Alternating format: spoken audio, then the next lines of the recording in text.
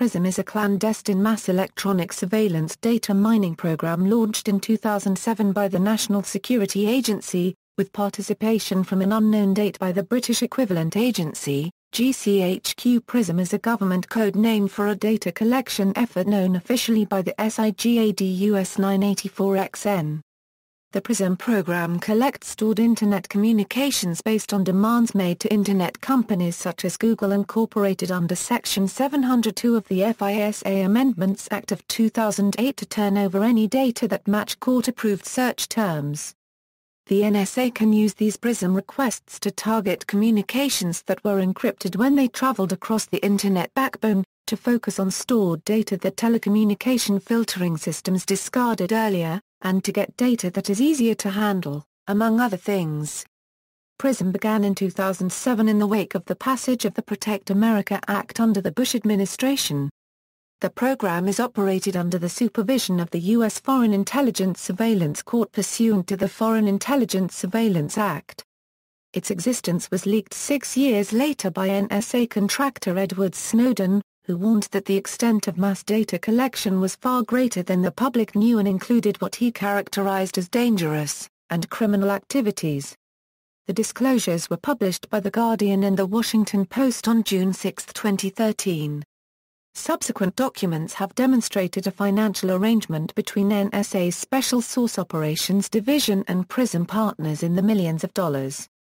Documents indicate that PRISM is the number one source of raw intelligence used for NSA analytic reports, and it accounts for 91% of the NSA's Internet traffic acquired under FISA Section 702 authority.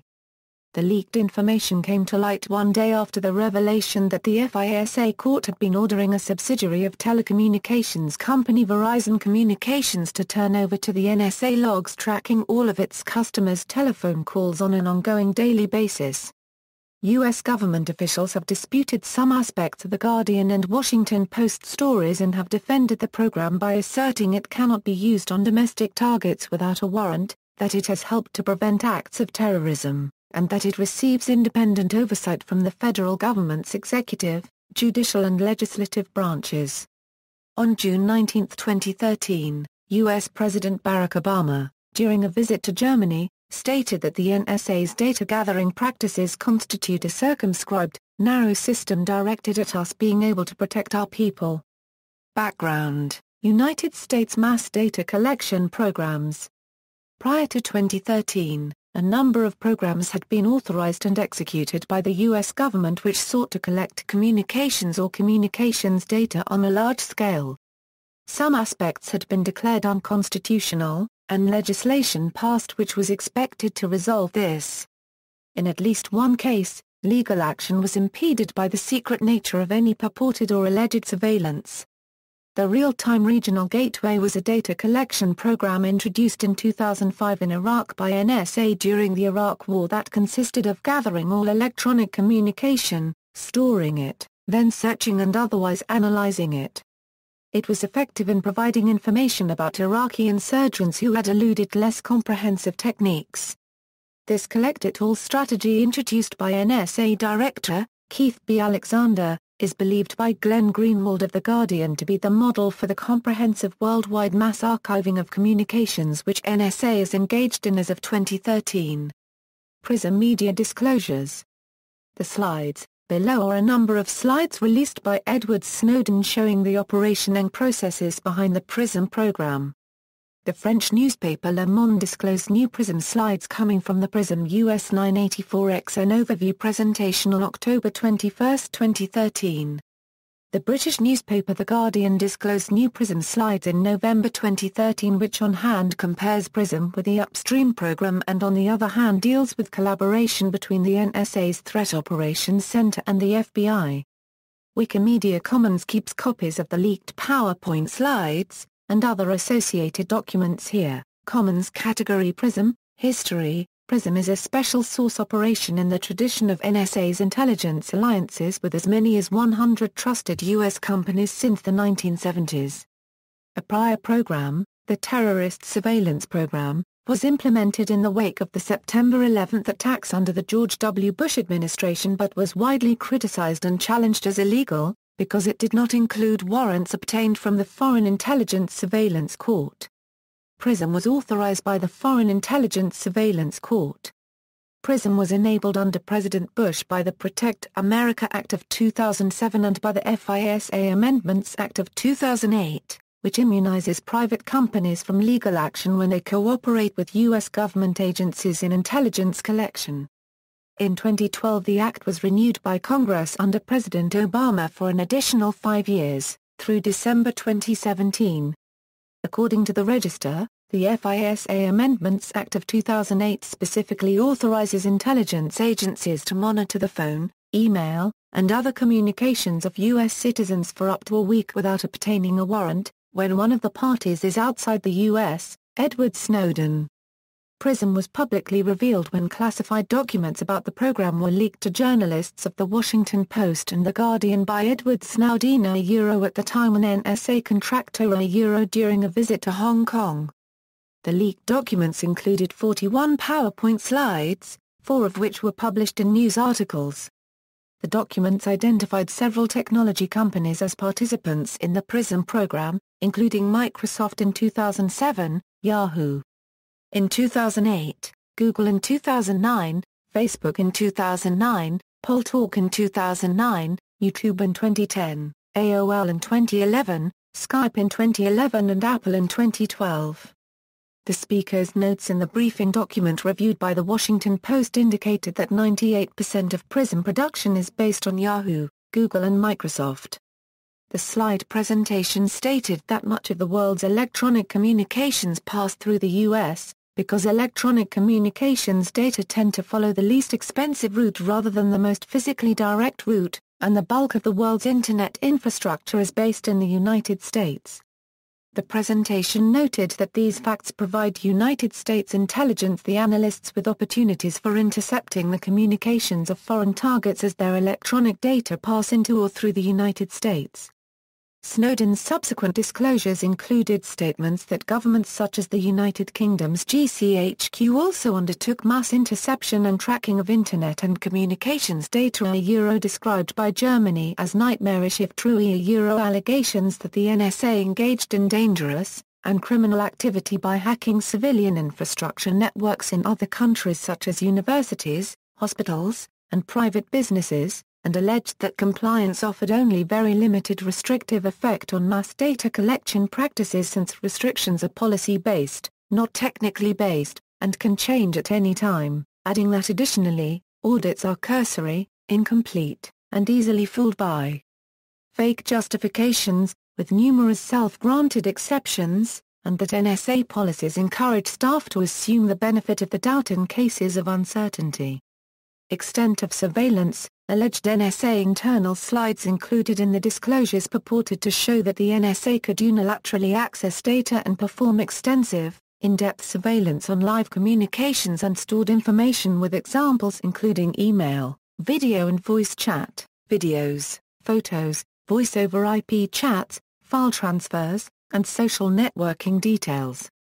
Snowden summarized that in general, the reality is this, if an NSA, FBI, CIA, DIA, etc. analyst has access to query raw SIGINT, signals intelligence databases, they can enter and get results for anything they want.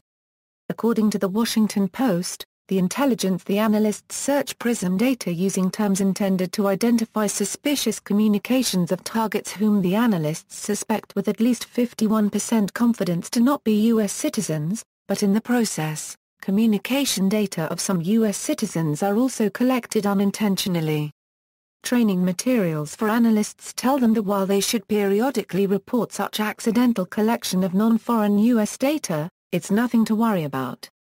According to The Guardian, NSA had access to chats and emails on Hotmail.com, Skype, because Microsoft had a Euro E developed a surveillance capability to deal a Euro with the interception of chats, and a Euro A, F or PRISM collection against Microsoft email services will be unaffected because PRISM collects this data prior to encryption a Euro also according to The Guardian's Glenn Greenwald even low-level NSA analysts are allowed to search and listen to the communications of Americans and other people without court approval and supervision. Greenwald said low-level analysts can, via systems like PRISM, listen to whatever emails they want, whatever telephone calls, browsing histories, Microsoft Word documents, and eat a Euro unregistered trademark S all done with no need to go to a court, with no need to even get supervisor approval on the part of the analyst. He added that the NSA databank, with its years of collected communications, allows analysts to search that database and listen to the calls or read the emails of everything that the NSA has stored, or look at the browsing histories or Google search terms that the our Euro unregistered trademark they entered, and it also alerts them to any further activity that people connected to that email address or that IP address do in the future. Greenwald was referring in the context of the foregoing quotes to the NSA program XKeyscore. During a House Judiciary hearing on domestic spying on July 17, 2013 John C. Inglis, the Deputy Director of the Surveillance Agency, told a member of the House Judiciary Committee that NSA analysts can perform a second or third hop query through its collections of telephone data and Internet records in order to find connections to terrorist organizations.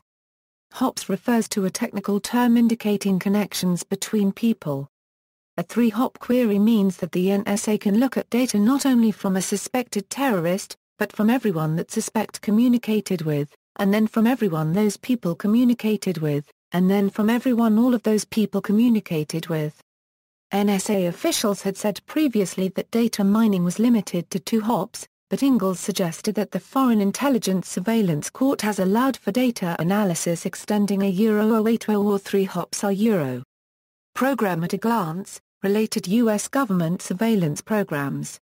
Parallel programs, known collectively as SIGADs gather data and metadata from other sources, each SIGAD has a set of defined sources, targets, types of data collected, legal authorities, and software associated with it. Some SIGADs have the same name as the umbrella under which they sit. Blarney's summary, set down in the slide alongside a cartoon insignia of a shamrock and a leprechaun hat, describes it as an ongoing collection program that leverages IC, intelligence community and commercial partnerships to gain access and exploit foreign intelligence obtained from global networks. Some SIGADs, like PRISM, collect data at the ISP level, but others take it from the top-level infrastructure. This type of collection is known as upstream. Upstream collection includes programs known by the blanket terms Blarney, Fairview, Oakstar and Stormbrew, under each of these are individual SIGADs. Data that is integrated into a SIGAD can be gathered in other ways besides upstream, and from the service providers, for instance it can be collected from passive sensors around embassies, or even stolen from an individual computer network in a hacking attack. Upstream collection includes programs known by the blanket terms Blarney, Fairview, Oakstar and Stormbrew. Under each of these are SIGADs, not all SIGADs involve upstream collection, for instance, data could be taken directly from a service provider either by agreement, by means of hacking, or other ways. According to the Washington Post, the much less known Muscular program, which directly taps the unencrypted data inside the Google and Yahoo private clouds, collects more than twice as many data points compared to PRISM. Because the Google and Yahoo clouds span the globe, and because the tap was done outside of the United States, unlike PRISM, the Muscular program requires no warrants. Responses to disclosures, United States Government, Executive Branch, Shortly after publication of the reports by The Guardian and The Washington Post, the United States Director of National Intelligence, James Clapper, on June 7, 2013 released a statement confirming that for nearly six years the government of the United States had been using large Internet services companies such as Google and Facebook to collect information on foreigners outside the United States as a defense against national security threats. The statement read in part, the Guardian and The Washington Post articles refer to collection of communications pursuant to Section 702 of the Foreign Intelligence Surveillance Act. They contain numerous inaccuracies. He went on to say, Section 702 is a provision of FISA that is designed to facilitate the acquisition of foreign intelligence information concerning non-U.S. persons located outside the United States. It cannot be used to intentionally target any U.S. citizen, any other U.S. person, or anyone located within the United States. Clapper concluded his statement by stating, the unauthorized disclosure of information about this important and entirely legal program is reprehensible and risks important protections for the security of Americans. On March 12, 2013, Clapper had told the United States Senate Select Committee on Intelligence that the NSA does not wittingly collect any type of data on millions or hundreds of millions of Americans. Clapper later admitted the statement he made on March 12, 2013 was a lie, or in his words I responded in what I thought was the most truthful, or least untruthful manner by saying no. On June 7, 2013 U.S. President Barack Obama, referring to the PRISM program and the NSA's telephone calls logging program, said, What you've got is two programs that were originally authorized by Congress, have been repeatedly authorized by Congress, bipartisan majorities have approved them. Congress is continually briefed on how these are conducted. There are a whole range of safeguards involved. And federal judges are overseeing the entire program throughout. He also said, you can't have 100% security and then also have 100% privacy and zero inconvenience. You know, we're going to have to make some choices as a society. In separate statements, Senior Obama administration officials said that Congress had been briefed 13 times on the program since 2009. On June 8, 2013, Director of National Intelligence Clapper made an additional public statement about PRISM and released a fact sheet providing further information about the program, which he described as an internal government computer system used to facilitate the government's statutorily authorized collection of foreign intelligence information from electronic communications service providers under court supervision, as authorized by Section 702 of the Foreign Intelligence Surveillance Act. The fact sheet stated that the surveillance activities published in The Guardian and The Washington Post are lawful and conducted under authorities widely known and discussed and fully debated and authorized by Congress. The fact sheet also stated that the United States government does not unilaterally obtain information from the servers of U.S. electronic communications service providers.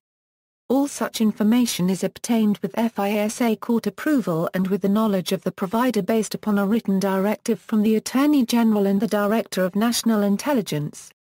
It said that the Attorney General provides FISA court rulings and semi-annual reports about PRISM activities to Congress, providing an unprecedented degree of accountability and transparency. Democratic Senators Udall and Wyden, who serve on the U.S. Senate Select Committee on Intelligence, subsequently criticized the fact sheet as being inaccurate. NSA Director General Keith Alexander acknowledged the errors, stating that the fact sheet a Euro could have more precisely described a Euro the requirements governing the collection of email and other Internet content from U.S. companies. The fact sheet was withdrawn from the NSA's website around June 26.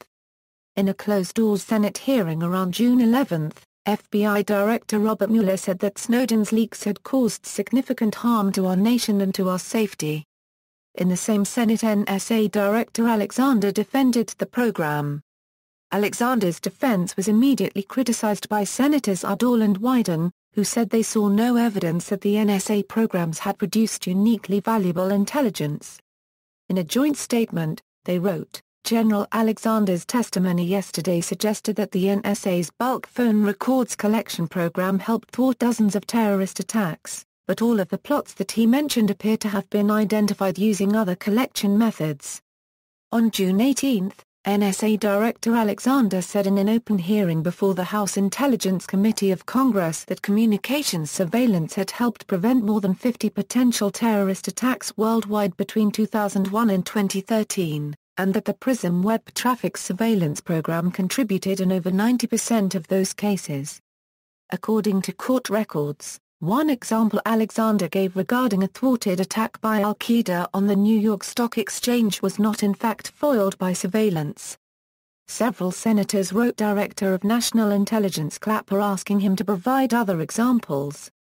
U.S. intelligence officials, speaking on condition of anonymity, told various news outlets that by June 24 they were already seeing what they said was evidence that suspected terrorists had begun changing their communication practices in order to evade detection by the surveillance tools disclosed by Snowden. Legislative branch in contrast to their swift and forceful reactions the previous data allegations that the government had been conducting surveillance of United States citizens' telephone records, congressional leaders initially had little to say about the PRISM program the day after leaked information about the program was published. Several lawmakers declined to discuss PRISM, citing its top-secret classification, and others said that they had not been aware of the program. After statements had been released by the President and the Director of National Intelligence, some lawmakers began to comment. Senator John McCain, June 9, 2013 We passed the Patriot Act, we passed specific provisions of the Act that allowed for this program to take place, to be enacted in operation. Senator Dianne Feinstein, chair of the Senate Intelligence Committee, June 9 These programs are within the law, part of our obligation is keeping Americans safe, human intelligence isn't going to do it. June 9 Here's the rub, the instances where this has produced good a euro has disrupted plots, prevented terrorist attacks, is all classified, that's what's so hard about this. June 11 it went fine. We asked him to declassify things because it would be helpful. I've just got to see if the information gets declassified. I'm sure people will find it very interesting.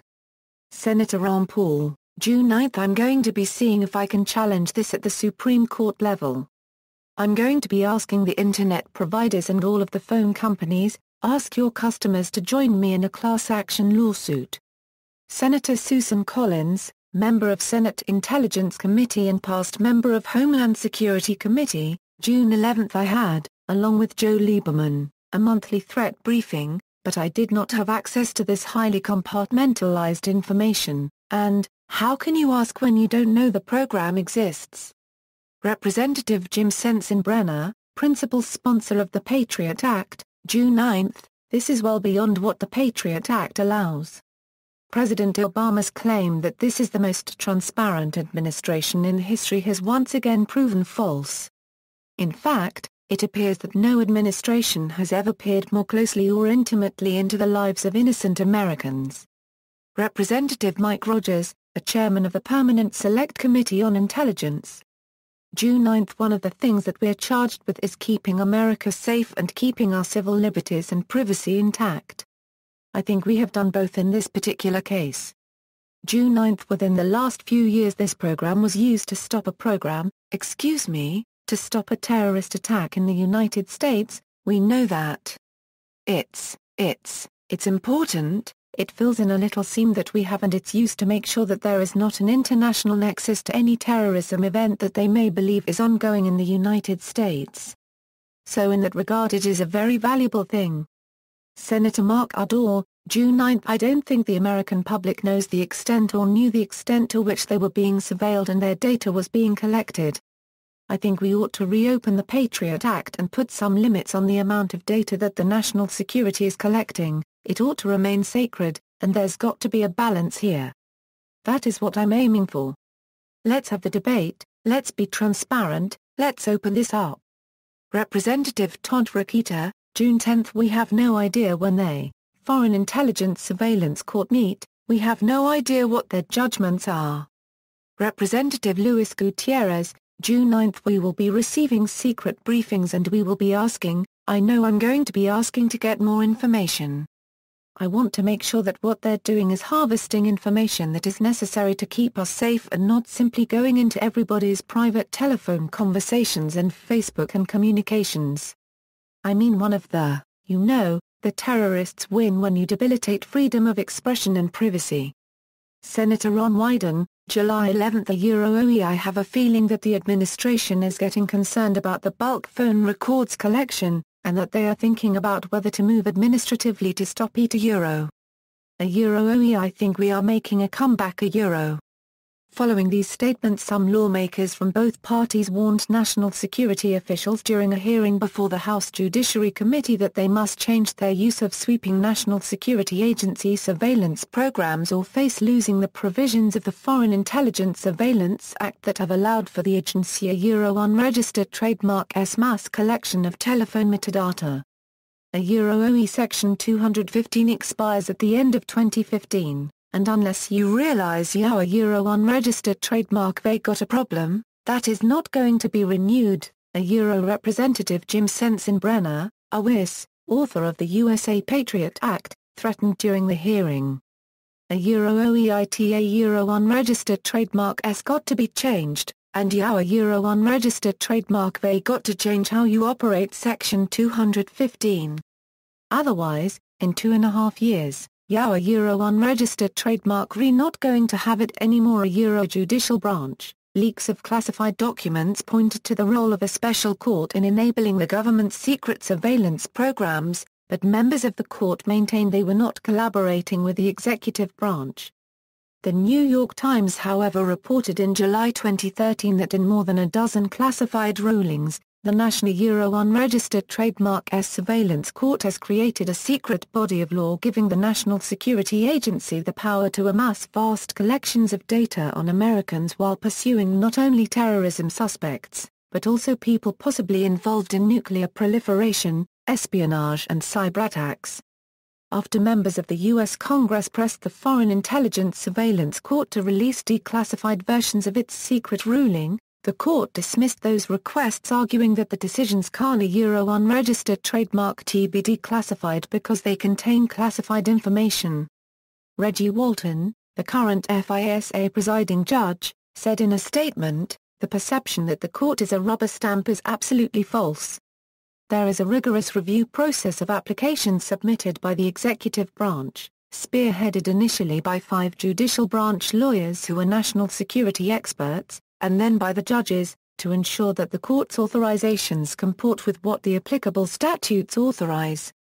The accusation of being a rubber stamp was further rejected by Walton who wrote in a letter to Senator Patrick J. Leahy, the annual statistics provided to Congress by the Attorney General. Frequently cited to in press reports as a suggestion that the court's approval rate of application is over 99% reflect only the number of final applications submitted to and acted on by the court.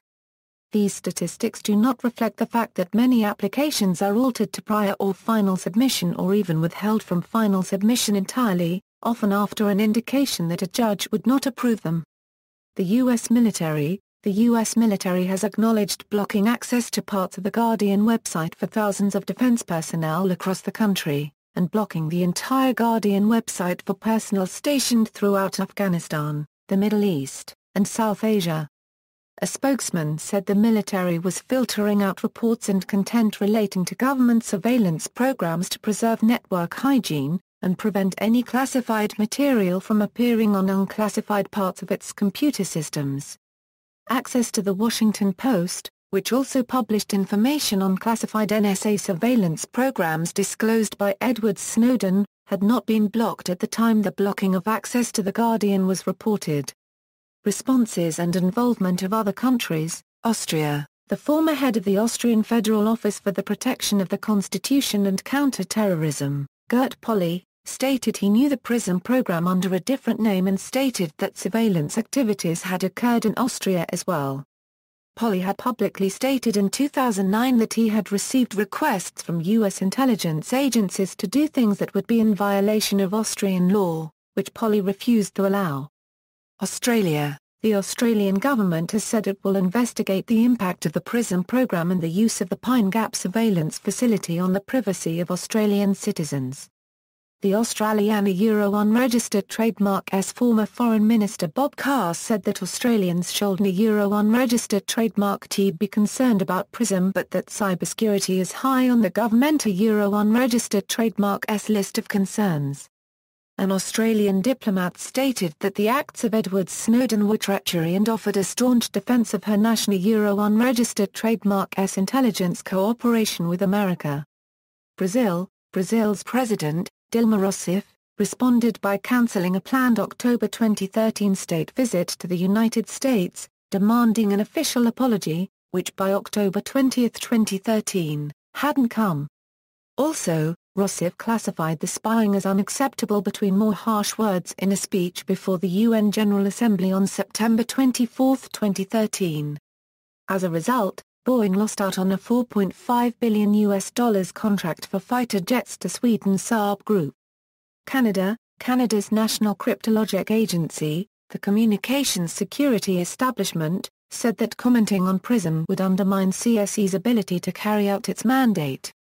Privacy Commissioner Jennifer Stoddart lamented Canada's standards when it comes to protecting personal online privacy stating we have fallen too far behind in her report. While other nations' data protection authorities have the legal power to make binding orders, levy hefty fines and take meaningful action in the event of serious data breaches, we are restricted to a soft approach, persuasion, encouragement and, at the most, the potential to publish the names of transgressors in the public interest. And, when push comes to shove, Stoddart wrote, short of a costly and time-consuming court battle, we have no power to enforce our recommendations. European Union, on October 20, 2013 a committee at the European Parliament backed a measure that, if it is enacted, would require American companies to seek clearance from European officials before complying with United States warrants seeking private data. The legislation has been under consideration for two years. The vote is part of efforts in Europe to shield citizens from online surveillance in the wake of revelations about a far-reaching spying program by the U.S. National Security Agency.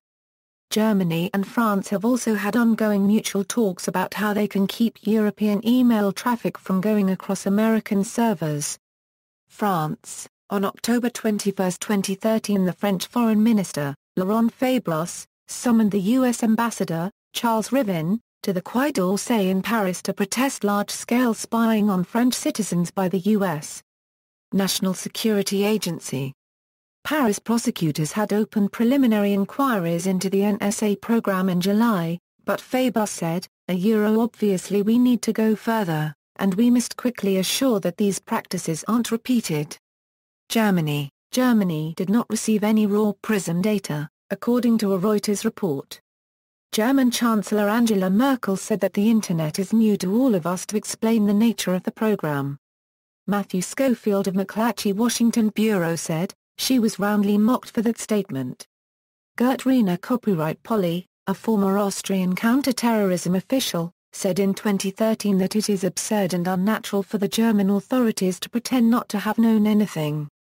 The German army was using PRISM to support its operations in Afghanistan as early as 2011. In October 2013, it was reported that the NSA monitored Merkel's cell phone. The United States denied the report, but following the allegations, Merkel called President Obama and told him that spying on friends was never acceptable, no matter in what situation. Israel, Israeli newspaper Calcalist discussed the Business Insider article about the possible involvement of technologies from two secretive Israeli companies in the PRISM program Eurovarant Systems and Narus. Mexico, the Mexican government after finding out about the PRISM program has started to build its own spying program to spy on its own citizens. According to Jenaro Villamil a writer from Proceso, magazine, CISEN the intelligence agency from Mexico has started to work with IBM and Hewlett-Packard to develop its own data-gathering software. Facebook, Twitter, emails and other social network sites are going to be priority. New Zealand In New Zealand, University of Otago Information Science Associate Professor Hank Wolfe said that under what was unofficially known as the Five Eyes Alliance, New Zealand and other governments, including the United States, Australia, Canada, and Britain, dealt with internal spying by saying they didn't do it. But they have all the partners doing it for them and then they share all the information. Spain, at a meeting of European Union leaders held the week of October 21, 2013, Mariano Rajoy, Spain a Euro unregistered trademark S Prime Minister, said that spying activities are in a Euro unregistered trademark T proper among partner countries and allies. On October 28, 2013 the Spanish government summoned the American ambassador, James Costos, to address allegations that the U.S. had collected data on 60 million telephone calls in Spain. Separately, AA plus or minus IGO Mar copyright Méndez de Vigo, a Spanish Secretary of State, referred to the need to maintain a euro or a necessary balance a euro between security and privacy concerns, but said that the recent allegations of spying, if proven to be true, are improper and unacceptable between partners and friendly countries. United Kingdom In the United Kingdom, the government communications headquarters, which also has its own surveillance program Tempora, had access to the PRISM program on or before June 2010 and wrote 197 reports with it in 2012 alone. The Intelligence and Security Committee of the UK Parliament reviewed the reports GCHQ produced on the basis of intelligence sought from the US. They found in each case a warrant for interception was in place in accordance with the legal safeguards contained in UK law. In August 2013, the Guardian newspaper's offices were visited by agents from GCHQ, who ordered and supervised the destruction of the hard drives containing information acquired from Snowden.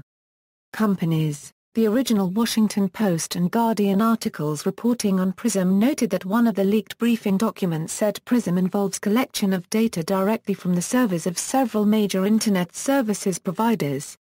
Initial public statements, corporate executives of several companies identified in the leaked documents told The Guardian that they had no knowledge of the PRISM program in particular and also denied making information available to the government on the scale alleged by the news reports. Statements of several of the companies named in the leaked documents were reported by TechCrunch and The Washington Post as follows. Microsoft We provide customer data only when we receive a legally binding order or subpoena to do so, and never on a voluntary basis. In addition we only ever comply with orders for requests about specific accounts or identifiers. If the government has a broader voluntary national security program to gather customer data we don't participate in it.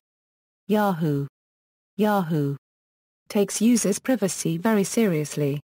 We do not provide the government with direct access to our servers, systems, or network. Of the hundreds of millions of users we serve, an infinitesimal percentage will ever be the subject of a government data collection directive. Facebook, we do not provide any government organization with direct access to Facebook servers. When Facebook is asked for data or information about specific individuals, we carefully scrutinize any such request for compliance with all applicable laws, and provide information only to the extent required by law. Google, Google cares deeply about the security of our users' data. We disclose user data to government in accordance with the law, and we review all such requests carefully. From time to time, people allege that we have created a government a Euro backdoor into our systems, but Google does not have a backdoor for the government to access private user data. A. Any suggestion that Google is disclosing information about our users' internet activity on such a scale is completely false. Apple, we have never heard of PRISM. We do not provide any government agency with direct access to our servers, and any government agency requesting customer data must get a court order. Dropbox, we've seen reports that Dropbox might be asked to participate in a government program called PRISM. We are not part of any such program and remain committed to protecting our users' privacy. In response to the technology company's denials of the NSA being able to directly access the company's servers, the New York Times reported that sources had stated the NSA was gathering the surveillance data from the companies using other technical means in response to court orders for specific sets of data. The Washington Post suggested, it is possible that the conflict between the PRISM slides and the company spokesman is the result of imprecision on the part of the NSA author. In another classified report obtained by the Post, the arrangement is described as allowing collection managers, to send content tasking instructions directly to equipment installed at company-controlled locations, rather than directly to company servers. I. In context, direct is more likely to mean that the NSA is receiving data sent to them deliberately by the tech companies, as opposed to intercepting communications as they're transmitted to some other destination. If these companies received an order under the FISA Amendments Act, they are forbidden by law from disclosing having received the order and disclosing any information about the order at all, Mark Rumold, staff attorney at the Electronic Frontier Foundation, told ABC News. On May 28, 2013, Google was ordered by United States District Court Judge Susan Illston to comply with a national security letter issued by the FBI to provide user data without a warrant. Kurt Opsahl, a senior staff attorney at the Electronic Frontier Foundation, in an interview with VentureBeat said, I certainly appreciate that Google put out a transparency report, but it appears that the transparency didn't include this. I wouldn't be surprised if they were subject to a gag order. The New York Times reported on June 7, 2013, that Twitter declined to make it easier for the government. But other companies were more compliant, according to people briefed on the negotiations. The other companies held discussions with national security personnel on how to make data available more efficiently and securely. In some cases, these companies made modifications to their systems in support of the intelligence collection effort.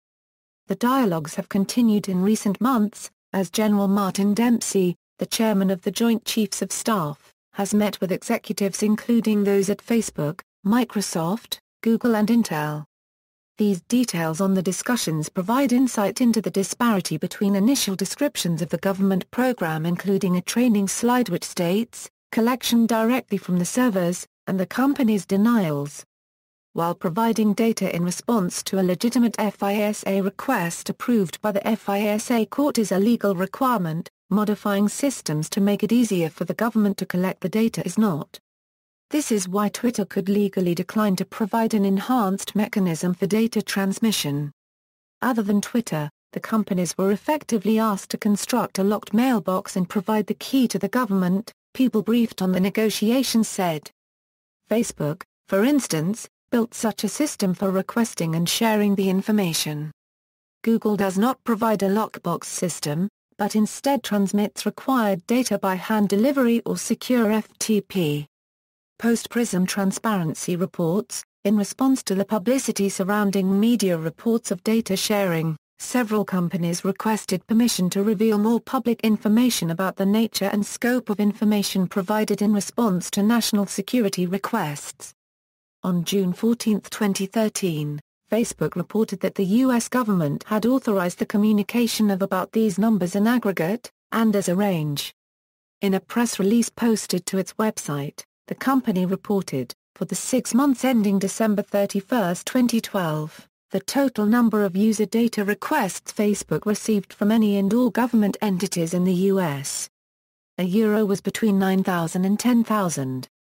The company further reported that the requests impacted between 18,000 and 19,000 user accounts, a tiny fraction of 1% of more than 1.1 billion active user accounts. That same day, Microsoft reported that for the same period, it received between 6,000 and 7,000 criminal and national security warrants, subpoenas and orders affecting between 31,000 and 32,000 consumer accounts from U.S. governmental entities, which impacted a tiny fraction of Microsoft's global customer base. Google issued a statement criticizing the requirement that data be reported in aggregated form, stating that lumping national security requests with criminal request data would be a step backwards from its previous, more detailed practices on its website's transparency report. The company said that it would continue to seek government permission to publish the number and extent of FISA requests. Cisco Systems has seen a huge drop in export sales because of spying fears from the National Security Agency using backdoors in its products. Public and media response, domestic. The New York Times editorial board charged that the Obama administration has now lost all credibility on this issue, and lamented that for years, members of Congress ignored evidence that domestic intelligence gathering had grown beyond their control, and, even now, Few seem disturbed to learn that every detail about the public's calling and texting habits now reside in an NSA database. It wrote with respect to the FISA court in context of PRISM that it is a perversion of the American justice system, when judicial secrecy is coupled with a one-sided presentation of the issues. According to the New York Times, the result is a court whose reach is expanding far beyond its original mandate and without any substantive check. James Robertson, a former federal district judge based in Washington who served on the Secret Foreign Intelligence Surveillance Act court for three years between 2002 and 2005 and who ruled against the Bush administration in the landmark Hamdan v. Rumsfeld case, said FISA court is independent but flawed because only the government side is represented effectively in its deliberations. Anyone who has been a judge will tell you a judge needs to hear both sides of a case, said James Robertson. Without this judges do not benefit from adversarial debate. He suggested creating an advocate with security clearance who would argue against government filings. Robertson questioned whether the secret FISA court should provide overall legal approval for the surveillance programs, saying the court has turned into something like an administrative agency. Under the changes brought by the Foreign Intelligence Surveillance Act of 1978 Amendments Act of 2008, which expanded the U.S. government's authority by forcing the court to approve entire surveillance systems and not just surveillance warrants as it previously handled, the court is now approving programmatic surveillance. I don't think that is a judicial function. Robertson also said he was frankly stunned by the New York Times report that FISA court rulings had created a new body of law broadening the ability of the NSA to use its surveillance programs to target not only terrorists but suspects in cases involving espionage, cyber attacks and weapons of mass destruction. Former CIA analyst Valerie Plame Wilson and former U.S. diplomat Joseph Wilson, writing in an op-ed article published in The Guardian, said that PRISM and other NSA data mining programs might indeed be very effective in hunting and capturing actual terrorists, but we don't have enough information as a society to make that decision. Computer security expert John Bambenek from the University of Illinois suggested that use of data mining in national security cases might be prone to inaccuracy and manipulation. The Electronic Frontier Foundation, an international non-profit digital rights group based in the U.S., is hosting a tool, by which an American resident can write to their government representatives regarding their opposition to mass spying. The Obama administration's argument that NSA surveillance programs such as PRISM and Boundless Informant had been necessary to prevent acts of terrorism was challenged by several parties.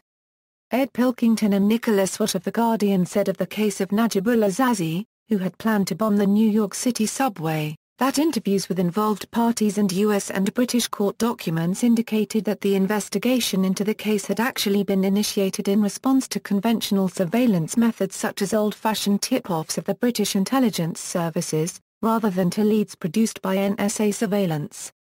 Michael Daly of the Daily Beast stated that even though Tamerlan Tsarnaev, who is alleged to have conducted the 2013 Boston Marathon bombings with his brother Dzhokhar Tsarnaev, had visited the al-Qaeda-affiliated Inspire magazine website, and even though Russian intelligence officials had raised concerns with U.S. intelligence officials about Tamerlan Tsarnaev, PRISM did not prevent him from carrying out the Boston attacks.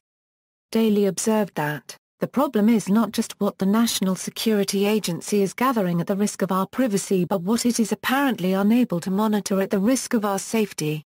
Ron Paul a former Republican member of Congress and prominent libertarian, thanked Snowden and Greenwald and denounced the mass surveillance as unhelpful and damaging, urging instead more transparency in U.S. government actions.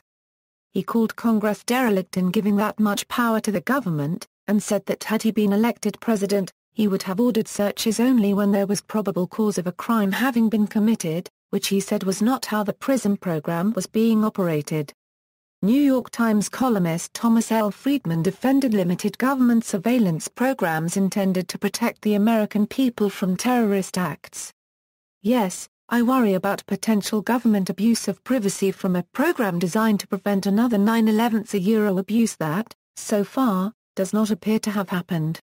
But I worry even more about another 9-11, if there were another 9-11, I fear that 99% of Americans would tell their members of Congress, a Euro OE do whatever you need to do to, privacy be damned, just make sure this does not happen again a Euro that was what I fear most.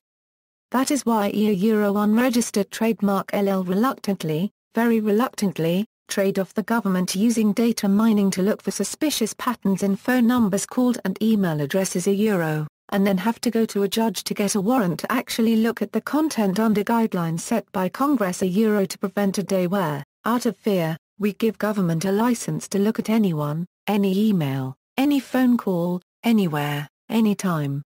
Political commentator David Brooks similarly cautioned that government data surveillance programs are a necessary evil, if you don't have mass data sweeps, well, then these agencies are going to want to go back to the old-fashioned eavesdropping, which is a lot more intrusive. Conservative commentator Charles Krauthammer worried less about the legality of PRISM and other NSA surveillance tools than about the potential for their abuse without more stringent oversight. The problem here is not constitutionality, we need a toughening of both congressional oversight and judicial review, perhaps even some independent outside scrutiny.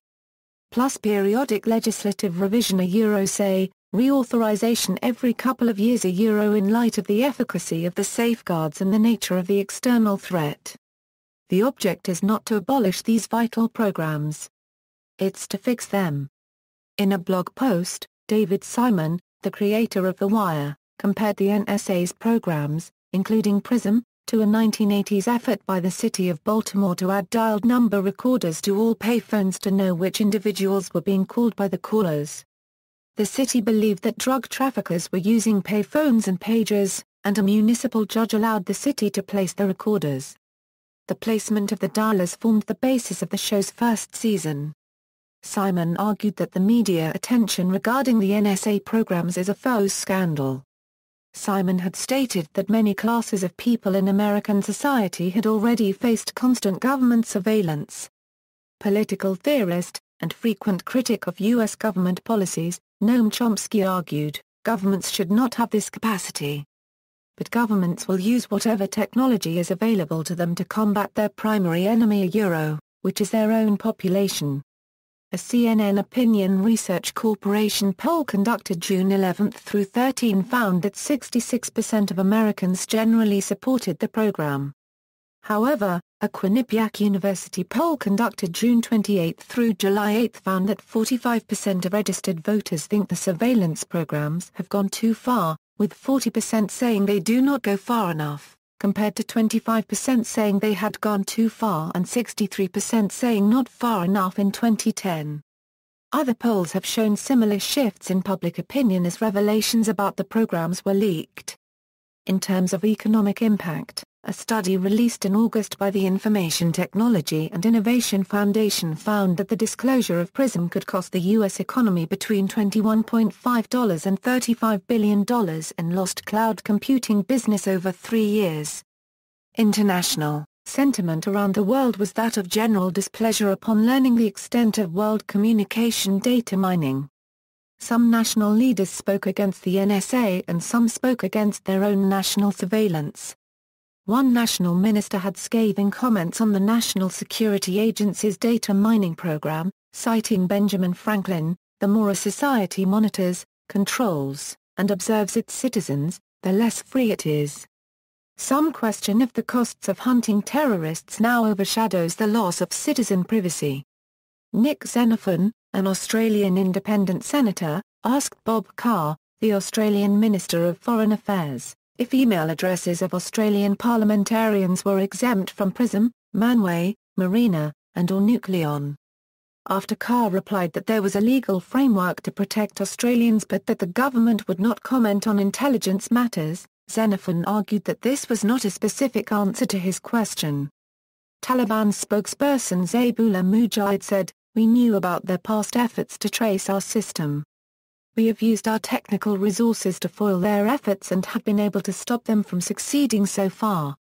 However CNN has reported that terrorist groups have changed their communications behaviors in response to the leaks. In 2013 the Cloud Security Alliance surveyed cloud computing stakeholders about their reactions to the U.S. PRISM spying scandal. About 10% of non-U.S. residents indicated that they had cancelled a project with a U.S.-based cloud computing provider, in the wake of PRISM. 56% said that they would be less likely to use a U.S.-based cloud computing service. The alliance predicted that U.S. cloud computing providers might lose as much as a $26 billion and 20% of its share of cloud services in foreign markets because of the PRISM spying scandal. China and Hong Kong. Reactions of Internet users in China were mixed between viewing a loss of freedom worldwide and seeing state surveillance coming out of secrecy. The story broke just before U.S. President Barack Obama and Chinese President Xi Jinping met in California. When asked about NSA hacking China, the spokeswoman of Ministry of Foreign Affairs of the People's Republic of China said, China strongly advocates cybersecurity. The party-owned newspaper Liberation Daily described this surveillance like 1984 style. Hong Kong legislators Gary Fan and Claudia Mo wrote a letter to Obama stating, the revelations of blanket surveillance of global communications by the world's leading democracy have damaged the image of the U.S. among freedom-loving peoples around the world. Ai Weiwei, a Chinese dissident, said, even though we know governments do all kinds of things I was shocked by the information about the U.S. surveillance operation, PRISM. To me, it's abusively using government powers to interfere in individuals' privacy. This is an important moment for international society to reconsider and protect individual rights. Europe, Sophie in a Dutch member of the European Parliament, called PRISM a violation of EU laws. The German Federal Commissioner for Data Protection and Freedom of Information, Peter Schaar, condemned the program as monstrous. He further added that White House claims do not reassure me at all, and that given the large number of German users of Google, Facebook, Apple or Microsoft services, I expect the German government is committed to clarification and limitation of surveillance. Steffen Seibert, press secretary of the Chancellor's office, announced that Angela Merkel will put these issues on the agenda of the talks with Barack Obama during his pending visit in Berlin. Wolfgang Schmidt, a former lieutenant colonel with the Stasi, said that the Stasi would have seen such a program as a dream come true since the Stasi lacked the technology that made PRISM possible. Schmidt expressed opposition, saying, it is the height of naivete to think that once collected this information won't be used. This is the nature of secret government organizations. The only way to protect the people's privacy is not to allow the government to collect their information in the first place. Many Germans organized protests, including one at Checkpoint Charlie, when Obama went to Berlin to speak. Matthew Schofield of the McClatchy Washington Bureau said, Germans are dismayed at Obama's role in allowing the collection of so much information. The Italian president of the Guarantor for the Protection of Personal Data, Antonello Soro, said that the surveillance dragnet would not be legal in Italy, and would be contrary to the principles of our legislation and would represent a very serious violation. CNIL intimates Google to change its privacy policies within three months or it'll risk fines up to 150,000 euros. AEPD is planning to fine Google between 40k and 300k euros, if it fails to clear about the past usage of the massive data of the Spanish users. William Hague, the Foreign Secretary of the United Kingdom, dismissed accusations that British security agencies had been circumventing British law by using information gathered on British citizens by PRISM saying, any data obtained by us from the United States involving UK nationals is subject to proper UK statutory controls and safeguards. David Cameron said Britain's spy agencies that received data collected from PRISM acted within the law, I'm satisfied that we have intelligence agencies that do a fantastically important job for this country to keep us safe, and they operate within the law. Malcolm Rifkind, the chairman of Parliament's Intelligence and Security Committee, said that if the British intelligence agencies were seeking to know the content of emails about people living in the UK, then they actually have to get lawful authority.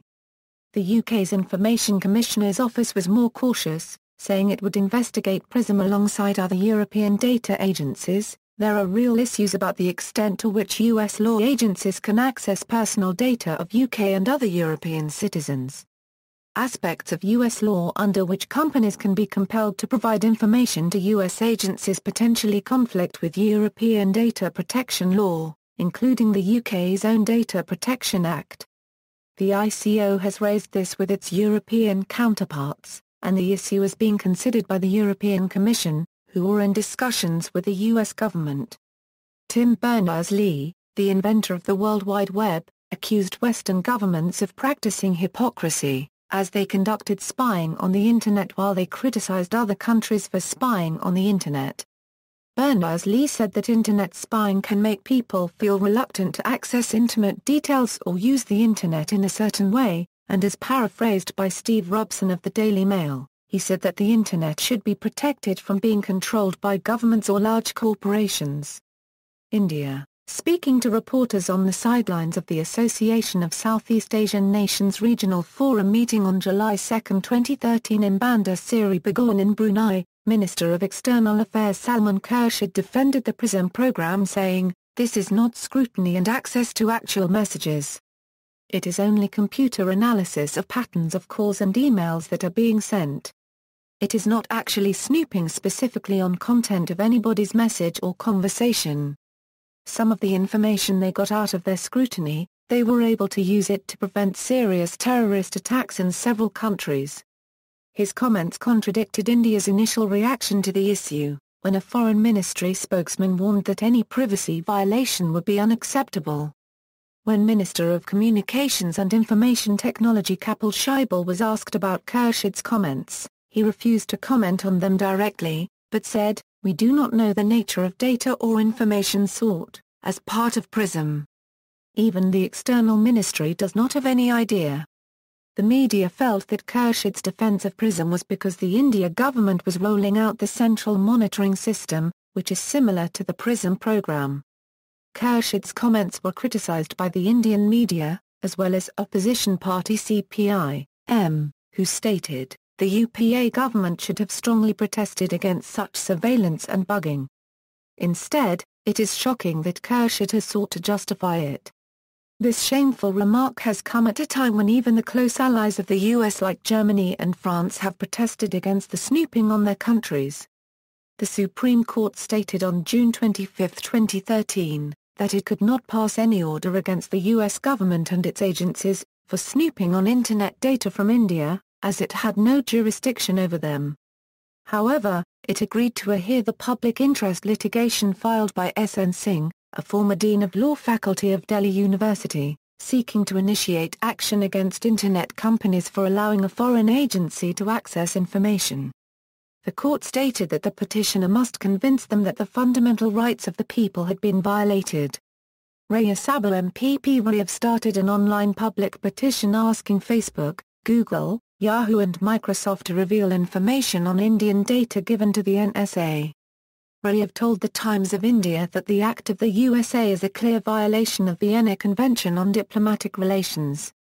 But Khurshid is trying to justify it. And the speed of the government of India to reject the asylum application of Edward Snowden is shameful. Legal aspects, United States, applicable law and practice, on June 8, 2013 the Director of National Intelligence issued a fact sheet stating that PRISM is not an undisclosed collection or data mining program, but rather an internal government computer system used to facilitate the collection of foreign intelligence information under court supervision, as authorized by Section 702 of the Foreign Intelligence Surveillance Act. Section 702 provides that the Attorney General and the Director of National Intelligence may authorize jointly, for a period of up to one year from the effective date of the authorization, the targeting of persons reasonably believed to be located outside the United States to acquire foreign intelligence information. In order to authorize the targeting, the Attorney General and Director of National Intelligence need to obtain an order from the Foreign Intelligence Surveillance Court pursuant to Section 702 or certify that intelligence important to the national security of the United States may be lost or not timely acquired and time does not permit the issuance of an order. When requesting an order, the Attorney General and Director of National Intelligence must certify to the FISA court that a significant purpose of the acquisition is to obtain foreign intelligence information. They do not need to specify which facilities or property will be targeted. After receiving a FISA court order or determining that there are emergency circumstances, the Attorney General and Director of National Intelligence can direct an electronic communications service provider to give them access to information or facilities to carry out the targeting and keep the targeting secret. The provider then has the option to comply with the directive, reject it, or challenge it with the FISA court. If the provider complies with the directive, it is released from liability to its users for providing the information and is reimbursed for the cost of providing it, while if the provider rejects the directive, the Attorney General may request an order from the FISA court to enforce it. A provider that fails to comply with the FISA court's order can be punished with contempt of court. Finally, a provider can petition the FISA court to reject the directive. In case the FISA court denies the petition and orders the provider to comply with the directive, the provider risks contempt of court if it refuses to comply with the FISA court's order the provider can appeal the FISA court's denial to the Foreign Intelligence Surveillance Court of Review and then appeal the Court of Review's decision to the Supreme Court by a writ of certiorari for review under seal. The Senate Select Committee on Intelligence and the FISA courts had been put in place to oversee intelligence operations in the period after the death of J. Edgar Hoover. Beverly Gage of Slate said, when they were created, these new mechanisms were supposed to stop the kinds of abuses that men like Hoover had engineered. Instead, it now looks as if they have come to function as rubber stamps for the expansive ambitions of the intelligence community. J. Edgar Hoover no longer rules Washington, but it turns out we didn't need him anyway. Litigation, Analysis of Legal Issues, Laura Donohue, a law professor at the Georgetown University Law Center and its Center on National Security and the Law, has called PRISM and other NSA mass surveillance programs unconstitutional. Woodrow Hartzog, an affiliate at Stanford Law School's Center for Internet and Society commented that, the ACLU will likely have to demonstrate legitimate First Amendment harms or Fourth Amendment harms. Is it a harm to merely know with certainty that you are being monitored by the government? There's certainly an argument that it is. People under surveillance act differently, experience a loss of autonomy, are less likely to engage in self-exploration and reflection, and are less willing to engage in core expressive political activities such as dissenting speech and government criticism. Such interests are what First and Fourth Amendments seek to protect. Programs sharing the name PRISM, besides the information collection program started in 2007, there are two other programs sharing the name PRISM, the Planning Tool for Resource Integration, Synchronization and Management Program, a web tool used by U.S. military intelligence to send tasks and instructions to data collection platforms deployed to military operations. The Portal for Real-Time Information Sharing and Management Program whose existence was revealed by the NSA in July 2013.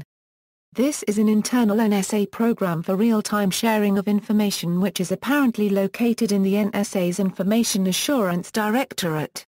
The NSA's Information Assurance Directorate is a very secretive division which is responsible for safeguarding U.S. government and military secrets by implementing sophisticated encryption techniques. See also Notes References Further reading, Halliday, Josh. Firefox add-on warns Internet users of the dark side of the NSA. The Guardian. Friday 14 June 2013. Kayyali, Nadia and Rodriguez, Katitza. On June 5, 65 Things We Know About NSA Surveillance That We Didn't a Euro Unregistered Trademark T Know a Year Ago. EFF. Friday 6 June 2014. External links, The NSA Files. The Guardian.